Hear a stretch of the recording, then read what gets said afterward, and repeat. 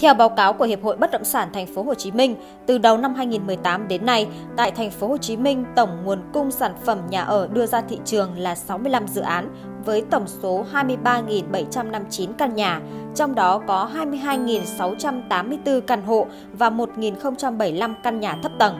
Tổng giá trị huy động vốn đạt 43.761 tỷ đồng. Trong đó, phân khúc cao cấp có 7.444 căn, chiếm tỷ lệ 31,3%. Phân khúc trung cấp có 11.731 căn, chiếm tỷ lệ 49,4%. Phân khúc bình dân có 4.584 căn, chiếm tỷ lệ 19,3%.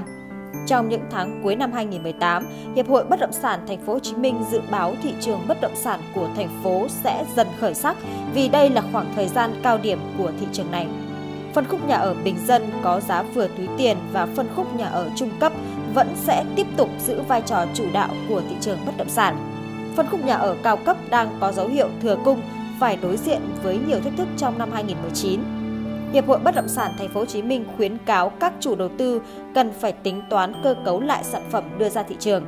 Sự cạnh tranh ở phân khúc căn hộ cao cấp sẽ rất khốc liệt. Các dự án sẽ phát triển theo hướng tạo ra đẳng cấp khác biệt, độc đáo, tích hợp nhiều tiện ích và dịch vụ. Trong đó, các dự án căn hộ cao cấp tại khu vực trung tâm thành phố lại được hưởng lợi thế độc quyền vì thành phố đã quyết định không chấp thuận thêm dự án chung cư cao tầng từ nay đến năm 2020.